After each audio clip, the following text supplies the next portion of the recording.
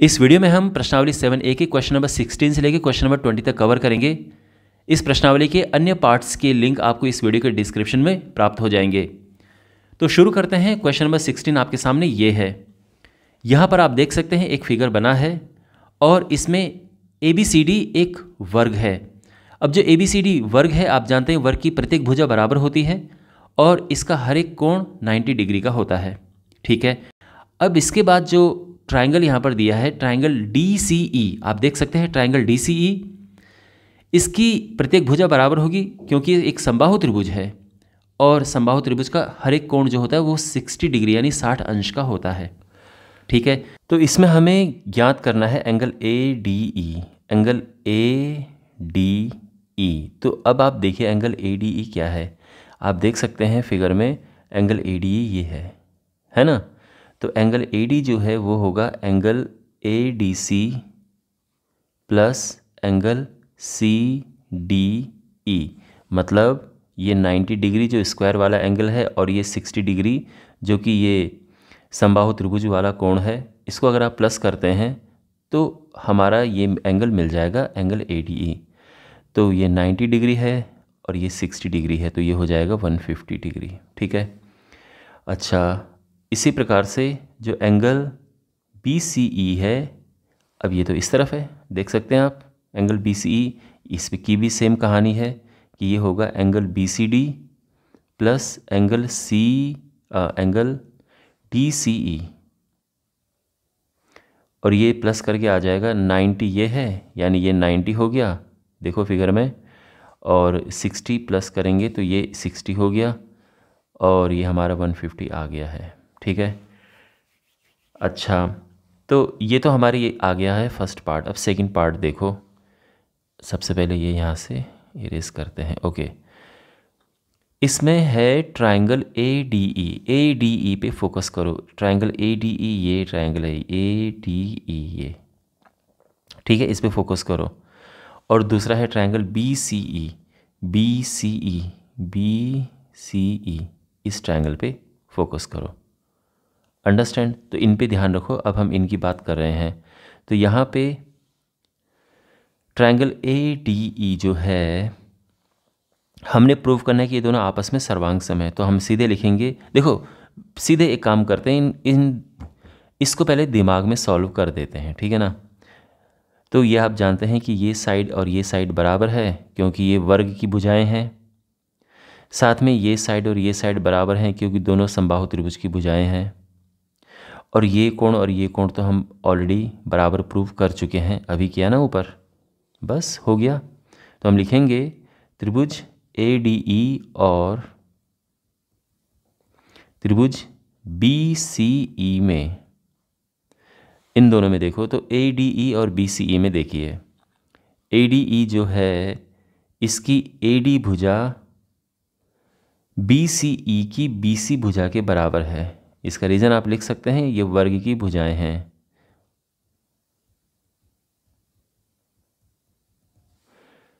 अब इसके बाद ये साइड हो गई, अब हम एंगल की बात करेंगे। एंगल ए डी ई ये बराबर है एंगल बी सी ई के।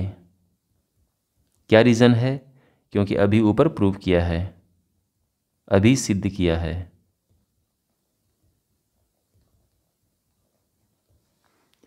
और तीसरा, फिर साइड की बात करते हैं डी ई यानी जो मैंने आपको बताया कि ये साइड और ये साइड बराबर है। तो साइड तो यहाँ पे जो डी ई है भुजा, ये बराबर है सी ई के। क्यों? क्योंकि ये संबाहु त्रिभुज की भुजाएँ हैं। संबाहु त्रिभुज की भुजाएँ। तो अब आप देख सकते हैं यहाँ पर हम आगे लिख सकते हैं। इसीलिए साइड एंगल साइड नियम से या प्रतिबंध से जो भी आपको लिखना है, साइड एंगल साइड नियम से ट्राइंगल ए डी ई, ये सर्वांग सम है ट्राइंगल बी सी ई के। करेक्ट? आई होप आपको ये समझ आ गया होगा। और तीसरा पार्ट इसी का ही है। आपको पता है कि जब एक बार त्रिभुज सर्वांग सम हो जाते हैं तो उसके बाद उनके सभी संगत भाग बराबर होते हैं। अब चूँकि हम इन दोनों त्रिभुजों को, यानी एक त्रिभुज ये है और दूसरा त्रिभुज ये है, इन दोनों त्रिभुजों को सर्वांग सम प्रूव कर चुके हैं तो फिर इनके संगत भाग बराबर होंगे। तो इसका मतलब ये साइड और ये साइड बराबर होगी, ठीक है? और ज़्यादा कुछ एक्सप्लेनेशन नहीं लिखनी है, सीधे लिखना है, चूँकि ट्राइंगल ए डी ई सर्वांग सम है ट्राइंगल बी सी ई के। इसीलिए सीधा बस आप सीधा लिख सकते हैं ए ई e बराबर बी ई और यहाँ पे रीज़न क्या लिखेंगे? सी पी सी टी से corresponding parts of congruent triangles जो सर्वांग सम त्रिभुज होते हैं, उनके संगत भाग बराबर होते हैं। ये इसका मतलब है, ठीक है? सी पी सी टी का। तो आई होप ये सोल्यूशन आपको अच्छे से समझ आ गया होगा। क्वेश्चन नंबर सेवनटीन है, दी आकृति में एक समांतर चतुर्भुज ए बी सी डी दिखाया है। तो ए बी सी डी देखो, ये एक समांतर चतुर्भुज है। ठीक है? तो समांतर चतुर्भुज के बारे में थोड़ा मैं आपको बता देता हूँ। इसमें देखो जिन, जिस, जिन चीज़ों की इस क्वेश्चन में आवश्यकता पड़ेगी। एक तो ये है कि समांतर चतुर्भुज के आमने सामने के कोण बराबर होते हैं। ठीक है? दूसरा ये है कि अगर हम इसको, इसे और इसे प्लस करें तो 180 अंश आता है 180 डिग्री आता है, ठीक है? तो ये प्रॉपर्टीज़ आपको ध्यान रखनी है। वैसे हम आगे क्वेश्चन करेंगे तो ये फिर से रिपीट होंगी। अब इसमें हमें ये जो इसकी भुजाएँ हैं समांतर चतुर्भुज की, इनकी भुजाओं पर दो वर्ग बने हैं, आप देख सकते हैं फिगर में। हमें बताना है कि एंगल एस ए क्यू यानी ये जो एंगल है, ये बराबर है एंगल ए बी सी के, यानी इस एंगल के बराबर ये दोनों एंगल बराबर हैं, हमें ये प्रूव करना है। Okay fine. तो यहाँ पे देखो सबसे पहली बात इनको नाम दे दे, देते हैं। मान लो कि जो ये एंगल है ये एंगल एक्स है ये एंगल वाई है और ये एंगल जेड है। तो आपको यहाँ पे Y is equal to Z prove करना यही तो है। तो हम लिख सकते हैं माना एंगल एस ए क्यू बराबर Y angle B A D बराबर एक्स और एंगल ए बी सी बराबर जेड है। ओके तो यहाँ पर आप देखो वाई और ये आप जानते हैं ये 90 है और ये भी आप ना जानते हैं कि 90 अगर आप इन चारों को प्लस करो, इन चारों को तो ये एक सर्कल बना रहे हैं। तो आप जा तो आप लिख सकते हैं कि y plus ninety degree plus X plus ninety degree ये 360 डिग्री है, पूरा सर्कल 360 का होता है। और इससे हम इस नतीजे पर पहुँच सकते हैं कि y प्लस एक्स बराबर 180 अंश, ठीक है ना? 90 प्लस नाइन्टी वन एटी है, उस तरफ़ जाके माइनस हो जाएगा। इक्वेशन नंबर वन अब दूसरा आप नोटिस करो, इस समांतर चतुर्भुज में, इस पैरेलोग्राम में तो जो ए बी सी डी है, में तो यहाँ पे x और z को प्लस करके 180 आता है। ये दो समांतर रेखाओं की प्रॉपर्टी होती है कि जब उनको कोई तिरक रेखा काटती है तो इनको प्लस करके 180 आता है। अगर आपको अभी भी कन्फ्यूज़न है तो एक काम करो। आप जानते हैं कि समांतर चतुर्भुजों के आमने सामने के कोण बराबर होते हैं तो अगर ये x है तो ये भी x होगा। और ये z है तो ये भी z होगा। इतना तो आप समझ गए ना? और अब इन समांतर चतुर्भुज के चारों कोणों को अगर आप प्लस करोगे तो क्या होगा? X plus Z plus X plus Z ये थ्री सिक्सटी आएगा। यहाँ पर two X plus two Z हो गया थ्री सिक्सटी टू कॉमन ले लो। और इस तरह से आ जाएगा X plus Z is equal to one eighty degree तो कोई भी आप लिख सकते हो, ठीक है? इसको हम इक्वेशन नंबर दो नाम दे देते हैं। अब आप देखो, समीकरण एक और समीकरण दो के राइट हैंड साइड में तो 180 है दोनों में। तो हम लेफ़्ट हैंड साइड बराबर कर सकते हैं। तो समीकरण एक और दो से तो यहाँ पर हो जाएगा y प्लस एक्स बराबर x plus z x x cancel तो y बराबर z आ गया है। y हमारा था एंगल एस ए क्यू और z हमारा था एंगल ए बी सी तो ये प्रूव हो चुका है हैंस प्रूव्ड सेकंड हमें प्रूव करना है कि जो एस क्यू है वो ए सी के बराबर है। देखो एस क्यू कहाँ पर है? तो अब यहाँ से थोड़ा सा इनको पहले तो इरेज करते हैं। एस क्यू है ये। ओके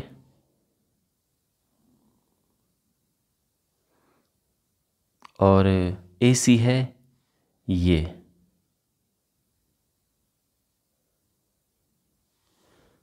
तो ये हमें प्रूव करने हैं कि ये इक्वल हैं। तो इनको बराबर प्रूव करने से पहले हमें, अब देखो बराबर कैसे प्रूव करेंगे? तो हमें यहाँ पर ये जो दो त्रिभुज हैं, एक तो त्रिभुज ये है एस ए क्यू इस त्रिभुज पे आप फोकस करो। एक त्रिभुज ये है, ठीक है? दूसरा जो त्रिभुज है, वो है ये। इन दोनों त्रिभुजों पे आप फोकस करो। तो यहाँ पर आप नोटिस करेंगे कि एक तो ये और ये बराबर है। आप बोलोगे, सर, ये दोनों कैसे बराबर हैं? तो देखो, आप जानते हैं कि जो ये और ये ये भुजाएँ तो बराबर हैं ना, ये तो आप जानते हैं, वर्ग की भुजाएँ हैं। साथ में समांतर चतुर्भुज के आमने सामने की भुजाएँ बराबर होती हैं तो इस वजह से ये और ये आपस में बराबर हो गई। इसके अलावा ये और ये तो बराबर है ही। अभी तो ये तो वर्ग है ना तो ये तो बराबर है ही। दिख नहीं रहा है क्योंकि उन्होंने फिगर गलत बनाया है क्वेश्चन जिसने भी फिगर बनाया है उसने एक आयत बना दिया है। ये वर्ग है एक्चुअल में ये थोड़ा सा ऐसा होना चाहिए था इस तरह से। बट एनी anyway, तो ये दोनों आपस में बराबर हैं। साथ ही ये एंगल और ये एंगल तो हम पहले से बराबर प्रूव कर चुके हैं। तो हो गया ना साइड एंगल साइड से सर्वांगसम। और एक बार सर्वांगसम प्रूव हो गए तो सी पी सी टी से आप इन्हें लिख सकते हैं कि इक्वल हैं। तो हम यहाँ पर लिखेंगे कि त्रिभुज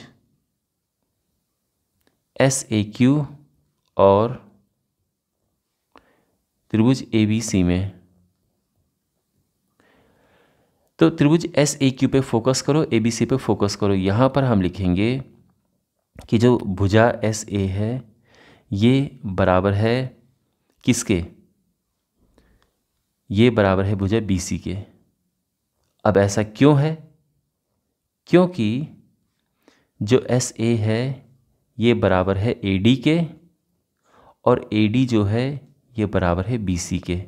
तो इसीलिए एस ए और बी सी बराबर हो गए हैं।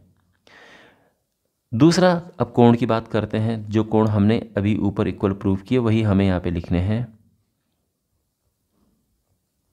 और उसके बाद तीसरी भुजा, जैसे कि मैंने आपको बताया, वर्ग की भुजाएँ हैं तो यहाँ पर आ जाएगा तीसरी भुजा।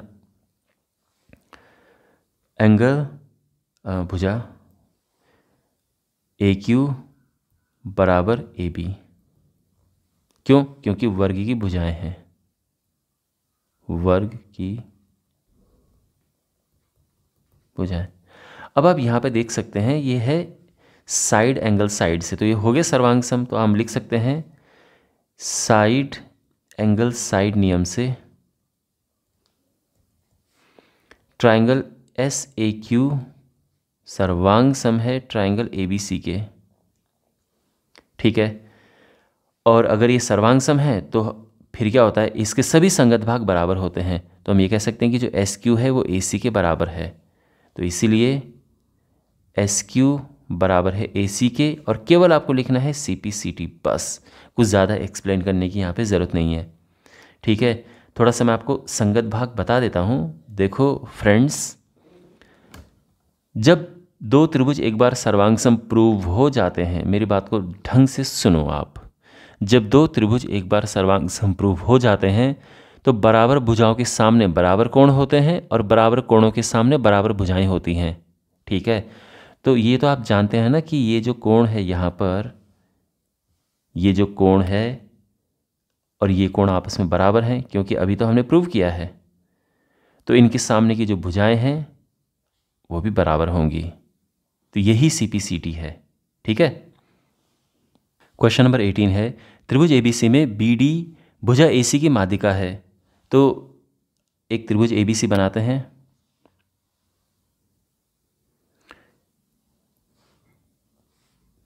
इसमें इसका एसी का मध्य बिंदु ये है और इसको ज्वाइन करते हुए हम एक माध्यिका ड्रॉ करेंगे।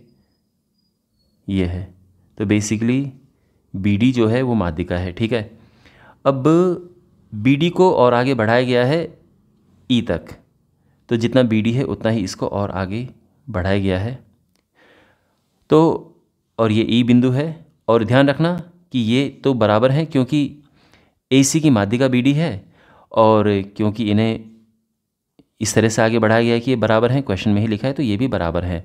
हमें ये प्रूव करना है कि जो ए ई है, ए ई जो है, इसको भी ज्वाइन करते हैं। ये सी के समांतर है, यानी इन्हें हमने समांतर प्रूफ करना है. क्लियर देखो, समांतर प्रूफ कैसे करें? समांतर प्रूफ हम कर पाएँगे अगर हम कुछ करके इस एंगल को इस एंगल के बराबर प्रूफ कर दें. अगर कुछ करके ऐसा प्रूफ कर दें, ठीक है? तो फिर क्या हो जाएँगे? और या फिर इसको और इसको बराबर प्रूफ कर दें, बात एक ही है. तो आप जानते हैं कि जब हमारे पास दो रेखाएँ होती हैं और एक तिरक रेखा इनको काटते हुए जाती है तो ये कोण और ये कोण अगर बराबर हो गए तो हम ये कहते हैं कि ये एकांतर अंत कोण हैं, बराबर हो गए हैं तो ये रेखाएँ समांतर हैं। ठीक है? एकांतर अंत कोण तो बस अब हमें क्या करना है कि इन कोणों को बराबर प्रूफ करना है। ये जो कोण है, इसको इसके बराबर प्रूफ करना है। ओके? अब वो बराबर प्रूफ कैसे होगा? तो उसके लिए हम इन दोनों त्रिभुजों को सर्वांग संप्रूव करेंगे। तो एक तो हमारे पास ये त्रिभुज है और दूसरा हमारे पास ये त्रिभुज है। अगर हमने इनको सर्वांग सम प्रूव कर दिया तो हमारा आंसर आ जाएगा। सर्वांग सम अब सर्वांग सम कैसे प्रूव करें तो बहुत आसान है। ये साइड ये साइड बराबर है। ठीक है ना? ये भुज, ये कोण और ये कोण बराबर है। और ये साइड ये साइड बराबर है। तो साइड एंगल साइड से हो गया सर्वांग सम और सर्वांग से इसके फिर एंगल भी इक्वल हो जाएँगे और हमारा आंसर आ जाएगा। तो यहाँ पर हम लिखेंगे कि त्रिभुज ए डी ई तथा त्रिभुज सी डी बी में, ठीक है? ए डी ई और सी डी भी देखो। तो जैसे मैंने बताया, इन दोनों त्रिभुजों की बात हो रही है। यहाँ पे ए डी बराबर है डी सी के। क्यों? क्योंकि आप क्वेश्चन में आप सीधे लिख सकते हैं, दिया है, क्योंकि क्वेश्चन में ही दिया है ना कि ए डी माध्यिका है। एंगल ए डी ई बराबर है एंगल बी डी सी के, या C B C D B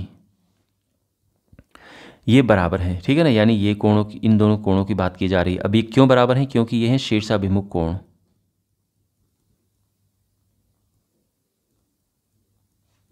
जिनको हम कहते हैं इंग्लिश में वर्टिकली ऑपोजिट एंगल्स शीर्षाभिमुख कोण, है ना? यानी जब दो रेखाएँ इस तरह से एक दूसरे को काटती हैं तो ये और ये बराबर होते हैं और ये और ये बराबर होते हैं, ठीक है?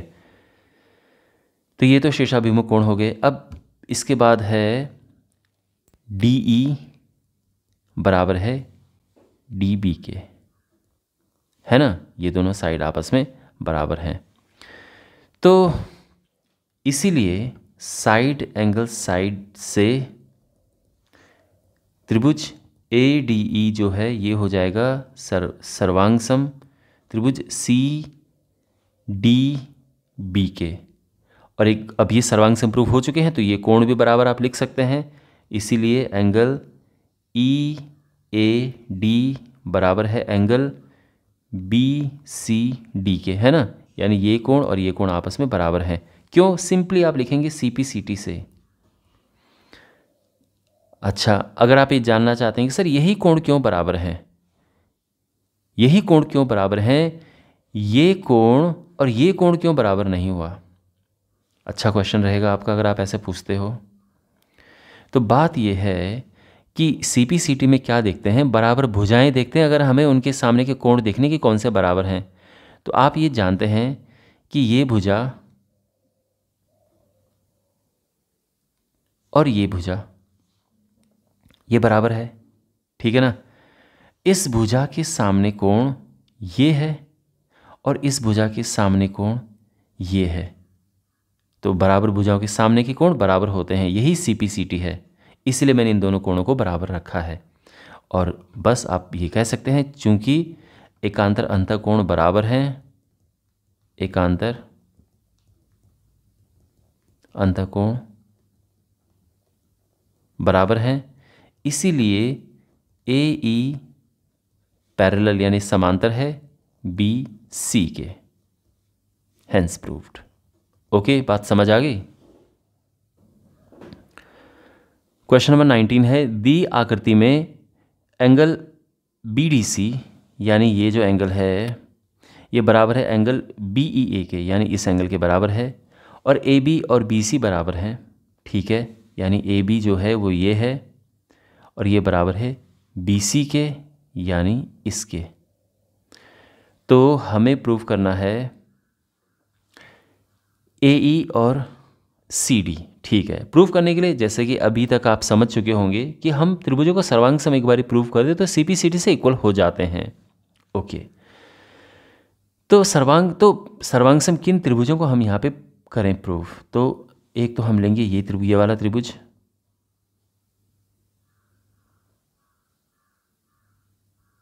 और दूसरा लेंगे हम ये वाला त्रिभुज।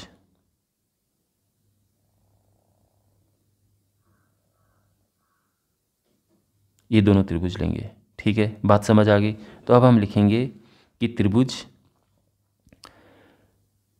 ए, बी, ई और त्रिभुज दूसरा है सी, बी, डी। इन दोनों त्रिभुजों में देखो, यानी एक रेड वाला त्रिभुज जो मैंने पहले ड्रॉ किया था और एक ब्लैक वाला जो उसके बाद में ड्रॉ किया। इन दोनों त्रिभुजों की बात करते हैं।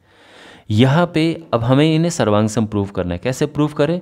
तो बहुत सिंपल है कि देखो ए बी ई का ये कोण सी बी डी के इस कोण के बराबर है।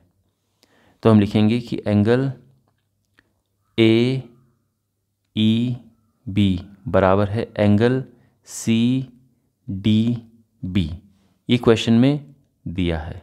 बहुत सिंपल है, कोई मुश्किल इसमें है नहीं। दूसरी बात ये कि एंगल भी दोनों के लिए ही बराबर है। अगर मैं कॉमन है मतलब तो अगर आप एंगल बी पे फोकस करें, ये दोनों के लिए, दोनों त्रिभुजों के अंदर आ रहा है ये। ये दोनों के लिए कॉमन हो गया। इसके बाद अब बात करें, देखो ये हो गया एंगल ये इस एंगल के बराबर है और ये एंगल दोनों के लिए कॉमन है। अब इसके बाद हम बात करेंगे भुजा की, यानी जो त्रिभुज ए बी ई है, इसमें ये भुजा ए बी और जो त्रिभुज सी पी डी है, यानी ब्लैक वाला त्रिभुज, इसकी भुजा बी सी के बराबर है। ये क्वेश्चन में दिया है। तो आप लिख सकते हैं there four angle angle side नियम से एंगल एंगल साइड नियम से, जो ये त्रिभुज हैं ए बी ई ये सर्वांग सम है त्रिभुज सी बी डी के। ठीक है? और इसके बाद हम लिख सकते हैं, इसीलिए ए ई बराबर है सी डी और सिंपल क्यों? सी पी सी टी से। तो एक बारी हम इन रेड वाला त्रिभुज, है ना? ये जो रेड वाला त्रिभुज है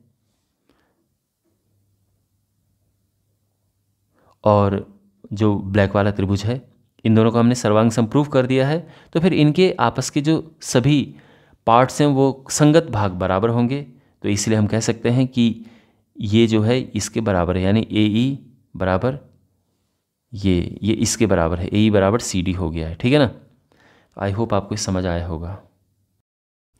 क्वेश्चन नंबर ट्वेंटी है, यदि एक चतुर्भुज के विकर्ण एक दूसरे को समकोण पर समद्विभाजित करते हैं तो सिद्धि कीजिए कि वह एक सम चतुर्भुज है। देखो, पहले तो हम बनाएँगे ही सम चतुर्भुज ओके ये हमेशा एक एक टेक्निक होती है कि जो पूछा गया है कि सिद्ध कीजिए कि ये, वही बनाओ। तो यहाँ पर हमने एक सम चतुर्भुज बनाया। सम चतुर्भुज एनीवे बट ये एक सिंपल चतुर्भुज है। इसके विकर्ण एक दूसरे को समकोण पर समविभाजित करते हैं तो इसके विकर्ण जो हैं वो ये हैं। एक ये है और दूसरा ये है। और क्वेश्चन के हिसाब से ये समकोण पर समविभाजित करते हैं। तो समविभाजित करने का मतलब है कि ये और ये बराबर है, ये और ये बराबर है, और ये समकोण है, यानी ये 90 है, ये 90 है, ये 90 है, ये 90 है। हमें ये सिद्ध करना है कि सम चतुर्भुज देखो सम चतुर्भुज की कंडीशन होती है कि चारों भुजाएँ बराबर हों। तो अगर हमारे पास ये ए बी सी डी कोई एक चतुर्भुज है, कोई एक चतुर्भुज हमने ड्रॉ किया है, हमें सिद्ध करना है कि ए बी बराबर बी सी बराबर सी डी बराबर डी ए। ये हमें सिद्ध करना है। ओके। तो यहाँ पे कैसे करेंगे हम? बहुत सिंपल है। सबसे पहले फोकस करो। देखो, ये ओ है सेंटर। त्रिभुज ए, ओ, बी और त्रिभुज सी, ओ, बी में। मतलब मैं इन दोनों पड़ोसी त्रिभुजों की बात कर रहा हूँ। तो यहाँ पर देखो, यहाँ पे अगर आप देखें तो ये साइड और ये साइड बराबर है, ये एंगल और ये एंगल बराबर है और ये साइड दोनों के लिए कॉमन है। यानी ए ओ बराबर सी ओ है और एंगल ए ओ बी बराबर एंगल बी ओ सी है या सी ओ बी, जो भी आपको लिखना है। ये सब दिए हैं क्वेश्चन में। ये दिया है कि ये जो विकर्ण है एक दूसरे को समविभाजित करते हैं, यानी इसलिए मैंने ये लिखा है 90 डिग्री पे करते हैं तो ये भी 90 ये भी 90 ठीक है ना? ये दोनों ही 90 डिग्री हैं। और इसके अलावा जो ओ है, वो दोनों के लिए कॉमन है। ओबी या बी ओ जो भी आप लिखें, ये दोनों के लिए कॉमन है। तो हम इस नतीजे पर पहुँच सकते हैं कि त्रिभुज ए ओ बी सर्वांग सम है, त्रिभुज सी ओ बी के। और किस नियम से? साइड एंगल साइड नियम से। और फिर इससे क्या हो जाएगा कि जो ए बी है, देखो एक बार ये दोनों त्रिभुज सर्वांगसम हो गए तो इसके सभी संगत भाग बराबर होंगे। तो हम लिख सकते हैं कि ए बी बराबर बी सी ओके? कैसे? सी पी सी टी से। इसको समीकरण नंबर एक नाम दे दो। अब आप समझ गए कि ऐसे ही अगर आप इसी प्रकार से त्रिभुज बी ओ सी ये सर्वांगसम हो जाएँगी त्रिभुज डी ओ सी के। तो हम लिख सकते हैं कि देयर फोर और ये बी सी बराबर हो जाएगा सी डी के सी पी सी टी से। ये समीकरण नंबर दो है। फिर इसी प्रकार से हम लिखेंगे कि जो ये है और ये ये आपस में सर्वांग सम है, यानी इसी प्रकार से त्रिभुज सी ओ डी ये सर्वांग सम है त्रिभुज ए ओ डी के। और इससे क्या होगा कि जो सी डी है, ये बराबर आ जाएगा D A C P C T से। ठीक है? तो ये क्वेश्चन नंबर तीन हो गया। अब देखो समीकरण एक दो तीन को देखो। समीकरण एक, दो और तीन से। ए बी बराबर बी सी है ना? ए बी बराबर बी सी है बी सी बराबर सी डी है और सी डी बराबर डी ए है। तो हो गया ना? हैंस प्रूव है तो प्रूव करना था। चार भुजाएँ बराबर हो गई और ये सम चतुर्भुज हो गया है। तो आई होप आपको ये समझ आया होगा। इसी के साथ ये पार्ट समाप्त होता है और अगर आपको वीडियो अच्छा लगा है तो आप इसे अपने फ्रेंड्स के साथ ज़रूर शेयर करें। थैंक्स फॉर वॉचिंग मिलते हैं अगले वीडियो में।